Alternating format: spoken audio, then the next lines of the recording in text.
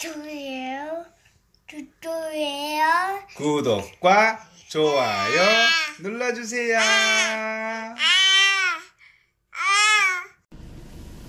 안녕하세요. 체험점팀입니다. 오늘은 제가 DIY 셀프 인테리어에 관한 얘기를 좀 하려고 하는데요. 말 그대로 셀프 인테리어였습니다. 예전에는 DIY가. 근데 요즘에는 성격 자체가 조금씩 바뀌고 있어요. 모든 DIY. 집에 관련된 모든 일을 DIY. 내가 직접 한다. 라는 그런 개념으로 좀 변질되고 있는 것 같아서 조금 무섭기도 하고 이게 좀 그렇습니다. 제가 이 말씀을 왜 드리냐면 뭐 좋습니다. 뭐 집에 벽지를 바른다. 페인트를 발라본다. 뭐 결로 공사를 해본다. 아니면은 뭐 몰딩을 다시 붙여본다. 라는 거는 충분히 장비만 있으면은 개인이 할 수 있다고 저는 생각을 해요. 요즘에는 그런 거에 관한 좋은 제품들도 많이 나오기 때문에 그런 건 충분히 개인이 할 수 있다고 제가 저는 생각을 하는데 이제 점점 올라가기 시작합니다. 옥상 방수를 내가 해본다. 뭐 좋습니다. 뭐 우레탄 페인트 같은 거는 개인이 바를 수 있다고 저도 생각을 해요. 그런 제품들도 저희를 판매를 하고 있고 근데 문제는 어디서 생기냐면 옥상에 미장을 새로 하려고 한다 라고 하시는 분들이 한두 문씩 생기기 시작을 합니다. 이제 전문가들은 아시겠죠. 굉장히 위험합니다. 물어보시는 분이 어떻게 물어보시냐면 이제 모래와 시멘트의 비율을 어떻게 섞어야 되냐라고 물어보시는 분이 계세요. 그 말인즉 전혀 모른다는 얘기인데 내가 한번 해보고 싶어서 하려고 한다. 인건비가 너무 비싸다. 그래서 내가 하면은 그 돈을 아낄 수 있지 않냐. 아니고요. 나중에 이 돈이 또 들어갑니다. 결과적으로는 이 돈이 또 들어가요. 그 인건비라는 그 돈이. 왜 그러냐면은 정확한 시공을 할 수가 없다는 얘기죠.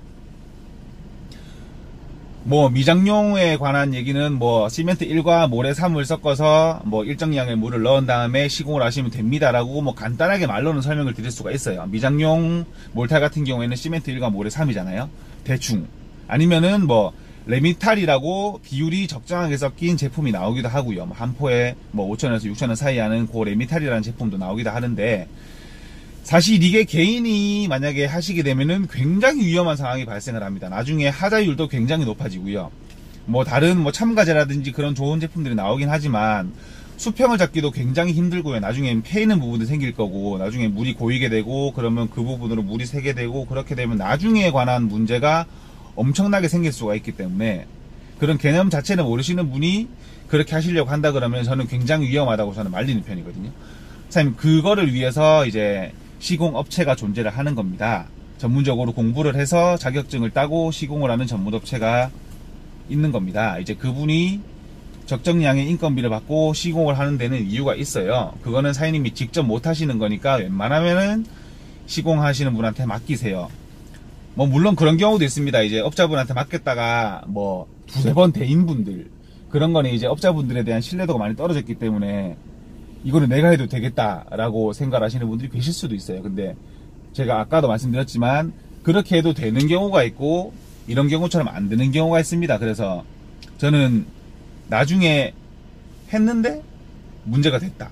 다시 해봐야지 했을 때 뭐 돈이 조금 조금 더 들어가는 문제다 그러면은 뭐 한번 해보시라고 해요.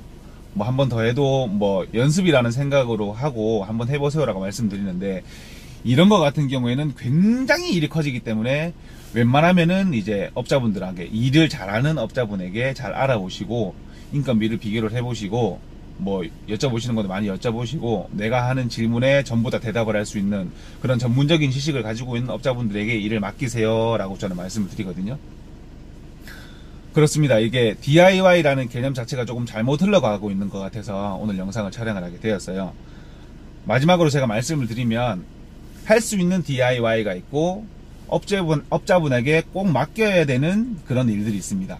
그거를 구분을 잘 해가면서 제 영상을 보시는 이제 구독자분들 중에서도 전문가분이 계실 거고 아니면은 이런 일을 좋아하셔서 저를 구독하시는 분들도 계실 텐데 이 영상을 꼭 보셨으면 좋겠습니다. DIY가 되는 게 있고 안 되는 게 있는 그 구분을 잘 지으셔서 맡길 수 있는 건 맡기고요. 내가 할 수 있는 거는 내가 해보는 그런 건강한 DIY가 좀 잡혔으면 좋겠습니다. 그래서 오늘 제가 영상을 촬영하게 되었어요. 오늘 영상은 제가 간단하게 여기서 마치겠고요. 다음에 또 새로운 영상으로 찾아뵙도록 하겠습니다. 철물점TV였습니다. 감사합니다.